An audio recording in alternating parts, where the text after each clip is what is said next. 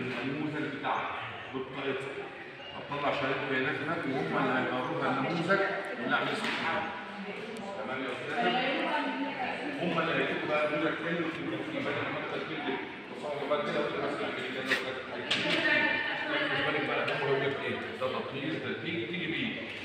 لك إيه بيه إحنا هننفذه قالوا السقف بتاع الدور العلوي يا شباب صوب السقف زي ما هيقول لك لا هو هو هيجيب كل البيانات بتاعته هو هيجيب.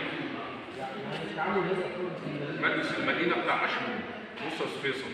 برضه الدكتور عشان يبلغ زمايله. حضرتك في المبنى الثاني هو أنت ما عندكش تصور متراقب ولا إيه؟ فانت تديك مخالف وعندك تصور نموذج دائم نموذج 10 دائم. هيروح على اشمون هيكون كل حاجة. اللي لم يتقدم للاتصال خالص برضه على شمون ما يجيش. نموذج 10 الدائم واللي ما قدمش على اتصال. حضرتك عندك محدث الاتصال خلص سنه 20 وما لحقتش باب الاتصال وكان باب الاتصال قفل وما قدمتش. عايز تيجي تقدم دلوقتي ما هنا. على اشمون عين تمام؟ طيب. أنت معكش المحضر بتاع حضرتك صورة المحضر معاك. صورة المحضر بتاعك معاك ماشي يا استاذنا نموذج 10 دقايق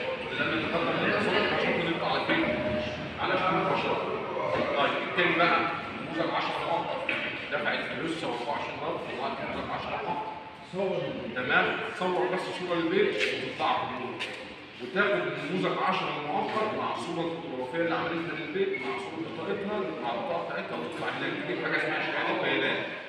تمام؟ تبدأ تستوفى الملف بتاعها وتقولنا بقى الله ينور عليك. إيه؟